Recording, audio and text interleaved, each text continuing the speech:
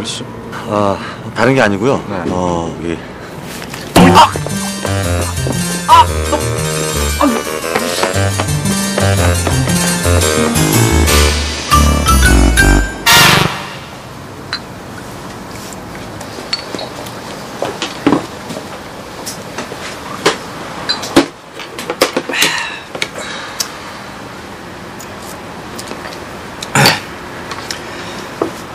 그건 그렇고 어떻게 사발에 상처를 내십니까?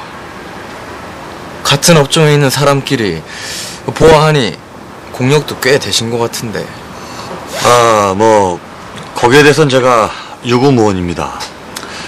연배가 워낙 동안이시라 저보다 2년 위라는 게 아직도 믿어지지가 않습니다. 1급 기밀입니다. 그건 그렇고 혹시 희선이 사랑하십니까? 여자는 구두입니다.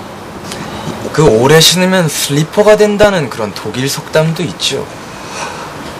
예 이해는 합니다만 하지만 제대로 된 파트너를 만난다는 건 또 어렵다고 생각을 합니다.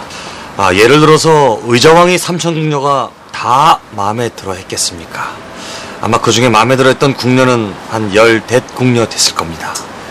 이미 사랑에 푹 빠지셨군요. 그럼 킵하시죠. 제가 빠지겠습니다. 아, 뭐 저야 고맙습니다만 희선이 같은 당도 100%를 만난다는 건 그리 쉽지가 않다고 생각을 합니다. 뭐 이게 우리 상도덕 아니겠습니까? 정말 소중한 선배님이십니다. 배려지요. 배려. 자, 저보다 2년 위시니까 형님이라고 부르겠습니다. 좋습니다. 제가 따라 먹겠습니다.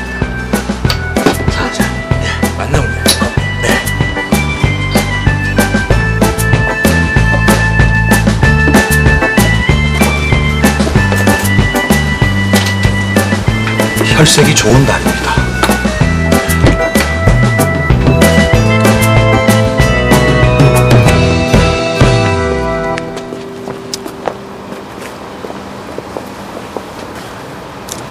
어렵게 찾은 사랑 꼭 이루시기 바랍니다. 소중한 은혜 기회가 된다면 꼭 갚도록 하겠습니다.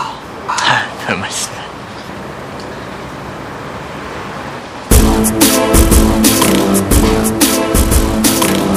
시간도 여유로운데 담배 한 대 하시겠습니까? 좋습니다. 편하게 앉으시죠.